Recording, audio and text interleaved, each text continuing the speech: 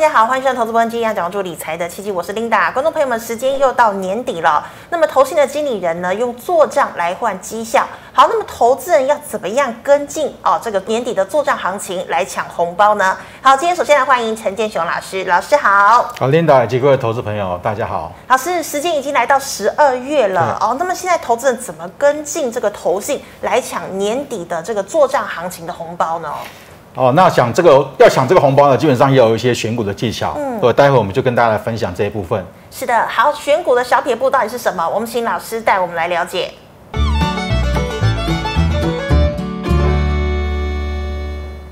老师，我们知道投信呢一年都会做好几次的账，那到底投信做账的条件是什么好，投信呢一年大概就是每每一季的季底会做一次账，还有这个半年做一次账。是。那还有年底做一次账，真的。那重要性来讲的话，会以年底这一次是最重要的哦。所以因为年底他们是从一个绩效的总结，所以如果绩效能够拉高上去的话呢，他们这个投信经理人会有一些奖金，是啊，甚至呢，他们接下来他们代操的资资金可以庞更加庞大，可以吸收到更多的资金。嗯，所以通常在年底的时候呢，这些投信的经经理的人都会很积极来做账，是啊。好，那我们来看哈，他们做账的一些个股呢，基本上几个条件，第一个是中小型的股票，因为中小型股票他们比较好掌握。哦，所以他可以去拉抬的话呢，他们资金也够哦，去去过可以可以集中在火力在这几档股票上面，然后一拉上去呢，他们绩效就会跟着水涨船高上去。全职股不好拉。对，全职股基本上来讲，因为股本太大，他们比较没办法控制哦，所以中小型的股票呢，他们会有筹码的优势，所以他们第一个一定会选中小型的股票。是。那第二个呢，就是我们可以观察到，就是投信呢持续买超的，但是外资持股比例不高。好，为什么外资持股比例不高呢？因为外资基本上呢，它呢，它没有什么所谓的做账的这个这个这个紧迫性，它没有这个压力。嗯。所以呢，可能投信呢，它在买的过程面，如果是外资买很多的，那它可能在买的过程，外资它逢高会获利了结。哦。好，所以造成他们绩效可能会出现变数。哦。哦，所以他们会买进，他们以他们自己为筹码为主的，他们不会去买投信。就是买外资持股比较高的股票，是啊，可能会造成另外一个卖压，因为拉高以后会有卖压嘛。对，那对会有获利了结卖压，所以这部分他们就会去考虑哈。所以这里呢，外资持股比例不高的，但投信持续买的这张股票比较有机会。嗯，好。第三个就是呢，投信单一持股比例七八以上的是认养股哦。那这里面我们要发现到，因为投信单一持股比例呢，最高是不能超过十趴。嗯哦，那七趴其实已经很高了。嗯。那从这个七趴来看的话，表示呢。表示这个投信呢，已经在这两个股呢，它已经开始在做认养动作了。是哦，那么也是说，像这种股票呢，基本上它比较容易维持强势的上涨形态。嗯它不见得说它会一直连续性的大涨啊，但是呢，它至少可以维持强势。因为呢，投信在没有结账之前呢，像这种股票呢，他们都不会卖哦，所以能够维持强势。所以类似像这种股票，你反而可以利用盘子上震荡拉回的时候呢。去逢低承接，吃一下投信的豆腐，是哦，这部分来讲可以可以注意。那为什么我说持股比例以上，基本上啊，它不见得会一直连续性的大涨，是因为呢，它距离十趴已经很接近了，嗯哼，啊，它已经已经七趴了，所以呢，它在加码的空间已经有限，是。哦，所以只能说说他们认养股票，认养之后呢，他们会在那边做一个持续的做一个续报动作，所以它不大会大跌，但是你说它连续性的上涨呢，可能。空间也不会那么多，对，没那么大哦。那这一部分可以逢低承接啊，这部分可以逢低承接。那第四个就是我有你没有的意思，就是说呢，就投信基金有很多个嘛，有很多基金嘛，对不对？那也就是说呢，他们会拉抬自己的股票为主。如果我们两假设说有总共有三只股票 A、B、C 三只股票，那两家投信呢，他们两家都持一个是持有 A 跟 B，一个持有 B 跟 C，是哦，所以他们两个两家呢投信呢基本上都共同持有 B。这只股票，那这只股票就不叫不容易往上面拉，因为他如果去拉这只股票的话，变成说其他家的投信呢，他们也是跟着跟着绩效拉上去，他抬轿，对，帮他抬轿，所以他不需要，他不会去拉这种股票，他一定会假设 A 的话，他就会拉 A 的股票，好，另外一家就拉自己的 C 的这只股票，所以同样的这一只股票就比较不容易大涨。啊，所以我们在分辨的时候也要注意到这个这个特点。真的哈，要这个强记这个所谓的做账的一个条件。好，老师，那近期呢，投信买超前十名分别是谁呀？好，投信呢近期在十一月份这个地方已经开始在布局一些股票了。然后它不会等到十二月份才做，因为十二月份太对太晚了哈、嗯。那十二月底他们开始就要做结账了，所以他一定会提前布局哦。是。那这里面有没有观察到几个重点？就第一个呢，它布局的方向有几个，就是第一个，我们看这个联电跟世界先进哦，其实他们都算本益比偏低的股票。哎是。啊，包括像是呢这个南电啊嗯，包括像新兴的 ABF 窄板啊，那这里面也是因为他们的业绩算不错，然后呢，他们本益比大概目前来看的话，大概大概八倍左右，很低喽。对，也是哦很低的，所以它也是在布局这个本益比偏低的股票，这一部分是第一个族群。是。那第二个，我们就要看一下这个啊金居呢跟这个台药一组的哦。嗯。那这个部分呢，就是因为 Intel 呢要推出新的伺伺服器的平台，是。所以大家会想说，哎，这部分呢可能会拉升上去啊，铜所以对铜箔这一部分，嗯所以这部分呢也是占有一些一定的比例在在这里面。是那另外就是像这个所谓的这个联发科啊，联发科大家认为说晶片的这个手机晶片这一部分来讲，可能库存呢已经调整告一个段落了，所以股价呢开始领先反应，所以他们也在积极做布局动作哦。那另外生技股呢，他们也也有部分的股票在做布局哦，所以因为生技股它股本也比较小是，那后面可能还有一些题材，有些利多，有些想象空间，那也比较容易好拉抬。哦，所以目前呢，他们操作目前来讲，大概是以这几个族群呢为重点。是好，老师，那我们知道这十档哦，那这个操作策略又要怎么看呢？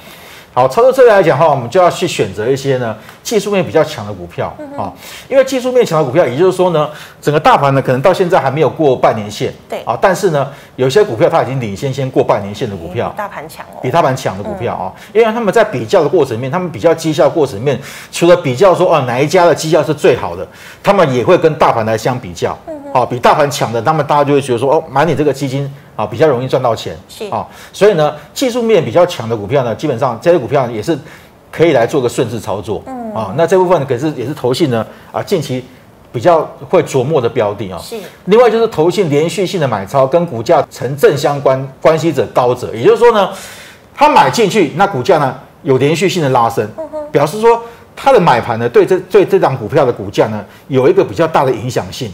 啊，正相关越强的越好。那有些是投信买，但是股价没什么动。好，那外资在卖吗？对，那可能是第一个，可能就是有特定的卖盘在那里卖，可能是外资卖，或者是有些啊公司派，或者是有些特定卖盘在卖，所以他们虽然去买，但是股价拉不拉的不是很高，拉不上去。嗯像这种股票呢，可能就比较没有空间哦，所以我们要观察到，哎，如果投信连续去买进，但是它的股价呢，它是呈现一个高角度的上攻的，这种股票呢，就是投信做账非常明显的股票，而且比较有机会再往上面涨。是啊，这样这种股票就要去做一个锁定啊。那第二、第三个就是我们要看这个十年线，因为法人基本上他们会，他们这个短期性的操作，他们会以十年线为主。啊，是十日线的对十日线啊、对十日线为主哦。那十日线来讲的话呢，是一个强强弱短线上强弱势的观察指标。哦，那就是观察到，哎，我们以十日线来做一个操作哦。如果破月线，代表说呢，啊，它就表示它转弱了啊，就可以做一个获利出场动作。是啊，这个也是一个操作策略。嗯啊，再来就是呢，越接近年底的时候呢，这个买超会开始缩手，因为开要开，其实做账完，它的目的是要结账对嗯。所以这个地方可能越接近年底的时候呢，就你如果看到哎，投信本来这样个股买很多的，那接下来开始不不不买了，甚至呢开始有点卖了，嗯那这时候呢就不宜追价，那你也可以来做一个逢高来做做个停利的动作。是就要小心结账了哈。对，是的。好，那老师，我们再看哦，这个刚刚呢这个买超前十名，第九名就是联发科哦。最近呢，投信近期买了四千多张，那它也提前呃提前呢先反弹一波了。老师，你觉得还有继续可能涨吗？好，我们看联发科，这是投信的总持股比例哦嗯越越，它从这里呢越来越高，最近呢在十十一月份、十月份、十月底哦这个地方，是。十月底到十一月份开始买很多了，嗯。所以很明显这档个股呢，它在做个做账的动作已经很明显了。嗯，那目前这档个股我们可以发现到它的股价也是打出个底部形态。哎。啊，那底部形态打出来后，这里呢在遇到前波高点，技术面遇到前波高点这个地方啊，再做个震荡整理。那么整理过程里面呢，像这种个股，只要投信呢，它没有站在啊大量的卖超，他们有稍微调节一下，但是调节完以后，你看他就开始这边做整理，可见这一档个股呢，跟这个投信的买盘有很大的关系。啊，投信一量大量买进的时候，它就开始往上面涨。真的拉起来。对，就真的拉起来了。嗯然后他们开始想卖一点，它就开始盘整。是所以呢，投信如果再回头买，那这种个股呢，它就又会再往上面攻击啊。哦所以像这种个股呢，基本上就是就是有这个法人做账的一个迹象嗯啊。这种个股就是可以来做一个逢低布局的一个方向。是，那老师，我们看到铜箔基板台药，它其实呢也领涨了一波了，所以也是投信整个拉起来的喽。对它这两个股也是一样哈，整个底部形态也打出来了，目前呢股价已经已经它就随着啊这条它它会沿着十日线在往上面涨。是。那我们看到它目前呢也是在那边做个震荡哦。那但是我们看这个法人呢，因为法人一买之后，他之前卖的时候呢就开始往，它就这边往下跌嘛。那这边开始在买的时候，它开始打底出来了。那开始大量买超的时候，就开始一路的震荡走高上去了。是。那它的走势呢，就是很明显的，它的股价呢跟法人的买超呢，跟投信的买超有很大的关系，相关，也是正相关的关系。所以呢，目前来看呢，还没有看到一个卖出的讯号之前呢，这档个股呢都还会在往上面攻击。是，当然整个技术面来讲，这里可能需要做一个筹码性一个稍微整理一下。前面有卖对，不过这边有一个很大的成交量，这个成交量比都比之前的还要大。是啊，表示这个成交量基本上呢已经有稍微做换手的动作了啊，所以它股价就开始一直沿着啊这个趋势往上面走。是哦，像这种个股也是可以逢低呢来留意布局的机会。是好，老师，那另外一档也是做这个铜箔啊，那金居它的这个整体的一个走势是不是比台药还要强？对，因为金居呢，它又是铜箔，它做铜箔，它它是铜箔基板的上游，它最上游的哦，所以呢，它的股价呢更容易反往上反应哦。是。那我们看它的股价基本上也是在低档区这个地方呢有出现一个爆量，那后来发现这个量是投信把它买上去的。嗯。那最近来讲的话，投信呢基本上都还是站在买方，是。哦，还是站在买方，所以它的股价就维持高姿在整理。那也就是说呢，像这种个股呢也是一样哈，筹码呢目前它股本就二十五亿哦，嗯，所以像这种个股呢，只要是投信法已经开始慢慢在做布局的股票，它后面都还有机会再往上走一波，好，所以目前来讲它的支撑点也是提高到这个下园区这个位置，是。啊，所以这个支支撑点没有跌破的话，那投信如果最近又在开始在买超，那我们认为像这种股票它后面。还有上攻的条件啊，所以这种个股也是可以值得留意的。中小型个股，对中小型个股是好。老师，那我们看到法人呢，最近一直喊买说这个 A B F 窄板，老师窄板呢，你看这边有个很大的缺口哦，那缺口应该不会补吧，对不对？好，这个缺口呢，其实它代表是一个方向。嗯哼，哦，技术分析有讲到，向上跳空缺口就代表是向上的方向。是。那这档个股我们看到，它前三季赚二十二块钱。也就今年一整年，大家可以赚到三十三块左右。是。那目前本益比大概八倍。嗯。好，那之前在这个低点区的时候，一百七十七块钱的时候，本益比呢大概只有七倍以下。这么低？对，因为低本益比的的情况之下呢，你看这个法人开始呢，现在在买方了。嗯。一开始买以后，股价就开始慢慢的震荡，走高，慢慢走高，然后这个地方买更多的时候，开始用跳空上去。所以很明显，这档个股呢也是一样。如果说投信法人这个地方一直如持续的买超，它并没有出现卖超的话，那股价整理之后呢，它还会再往上面走。是，哦，所以像这种个股呢，第一个它技术面缺口没有回补，第二个呢，这个筹码面呢，法人持续的买超的情况之下，搭配它本一比并不高的情况之下呢，像这种个股呢，也有机会往上做价。啊，所以像这种个股呢，都可以值得留意逢低布局的一个机会。是，所以投信不止找中小型个股，他也留意这个本益比比较低的个股。哈，对。好，老师最后一档呢，台康生这个郭董呢有在买哦。那台康生呢也是 CDMO 的这个成员之一。老师，台康生你怎么看？好，台康生呢，其实生技股呢这边有一个占有比较大优势，就是说第一个生技股呢。它后面都有一个比较大的一个题材，想象空间，嗯，哦，也就是说，它这个乳牙爱，如果乳乳牙爱呢，如果说年底呢，它取得这个美国的药证的话，像这种一旦取得药证，它股价就会开始喷出大涨啊。那现在是因为到前波的高点，那它背后又有富爸爸红海这个家族的加持之下啊，那我认为这档个股呢，基本上来讲，它这个一样也是打出个底部形态了，嗯那股本呢也不大，那你们看这个头信的基本上。基本上就站在买方，这里就开始买了，然后这里也站在买方，那拉回的时候，真的还是站在买方。好，最近一直买，它基本上只有小卖一点点而已。那它的持股比比例呢，也开始慢慢增加起来。对，就像这种个股呢，那基本上这条颈线这个位置区呢。啊，近期来讲，它没有跌破的话，它还会有一波攻击，也就是说，它到前波高点这个位置去呢，可能会稍微震荡洗一下盘。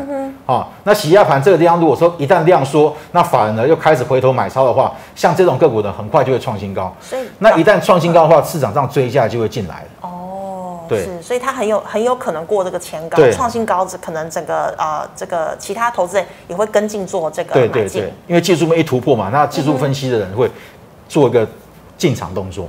是的，对，好，非常谢谢老师精彩的解析，谢谢。好，观众朋友们，今天老师呢跟我们聊的主题哦，是这个年底的作战行情要来的哦，怎么样呢跟进抢红包？老师呢包括了像是选股标的、选股策略都跟你讲的很清楚。如果你还有其他个股的问题，记得扫一下老师的 liet，老师 liet 是小老鼠 w o 八八八，扫了之后呢，有任何问题老师都会亲自回答你。那么最后喜欢我节目内容的朋友，欢迎在脸书、YouTube 上按赞、分享及订阅。感谢你的收看，我们下次见了，拜拜。